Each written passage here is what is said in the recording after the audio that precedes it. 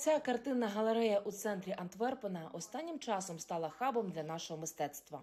З нагоди Дня Незалежності в кількох залах демонстрували роботи трьох українських художників з Києва: Ірени Кудрявченко, Анастасії Сахалтуєвої та Олександра Кудрявченка. В експозиції, яка почалася тиждень тому, кілька десятків робіт. Оця мозаїка авторства Анастасії Сахалтуєвої. Жінка переїхала в Бельгію як біженка і відтоді не марнує нагоди показати іноземцям, що таке українська культура. Анастасія глибоко переживає війну в Україні і свої емоції передає через творчість. На перший погляд це дві жінки або два янгола, але це на мою ну я задумувала їх як Україн, Україна і Росія. Росія на вигляд нібито несе нам добро, але якщо придивитися уважно, ми бачимо, що, що її крила чорні, що вона несе за собою е, смерть. Поки Анастасія розповідала відвідувачам про мистецькі роботи та їхніх авторів, у сусідній залі художниця Ірена Кудрявченко створювала свою чергову картину. Постежити за процесом та поспілкуватися з авторкою міг кожен відвідувач. Я не знав, що це саме українські художники, але мені подобається. Я не знаю багато про українське мистецтво, але цікаво побачити, як відрізняються стилі представлених художників, і це можливість дізнатися трохи більше про іншу культуру. Таке не часто побачиш у Бельгії. Цей перформанс від Ірени Кудрявченко частина культурної програми, яку організатори підготували під завершення експозиції.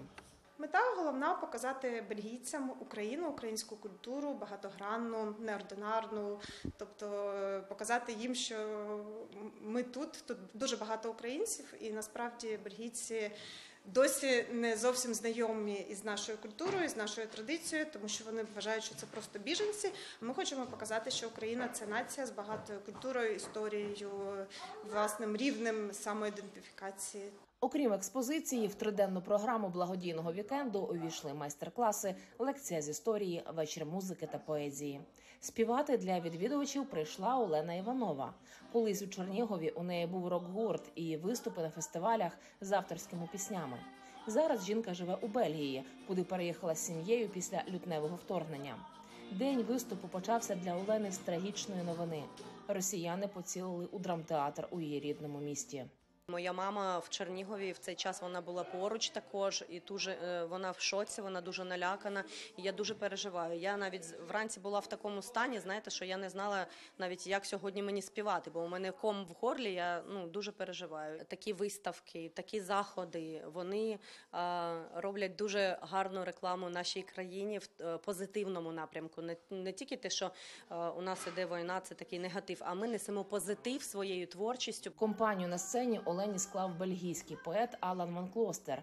Він пише вірші про війну в Україні, а зараз створює книжку спогадів українських біженців. Алан також перекладає тексти Олениних пісень нідерландською мовою, а вона його вірші українською. І деякі кладе на музику та перетворює на пісні. Я такий радий, що ми познайомились і можемо разом працювати. І це дуже цікаво. Я дізнаюсь щось нове, і це працює в обидва боки. Я допомагаю їй, а вона мені. Ми разом виступаємо, ходимо на репетиції. На жаль, ми не можемо зупинити війну, і я не можу зробити Олену щасливою, бо щастя зараз дуже складне. Але я переконаний, що позитивні моменти, які ми створюємо завдяки культурі та розмовам, допомагають їй, хоч на мить забути про війну, чи легше переносити це усвідомлення, що ти біженка в чужій країні з чужою культурою. На звуки авторських і народних пісень, що лунали з галереї на всю вулицю, сходилися випадкові перехожі і залишались у теплій компанії українських митців. Кожен міг зробити пожертву, адже культурний вікенд був благодійним для допомоги дітям-переселенцям з інвалідністю, а також для врятованих з Херсона тварин. Ірина Іванова, Олег Невідомський. Подробиці Європейське бюро телеканалу Інтер. Марафон Єдині новини.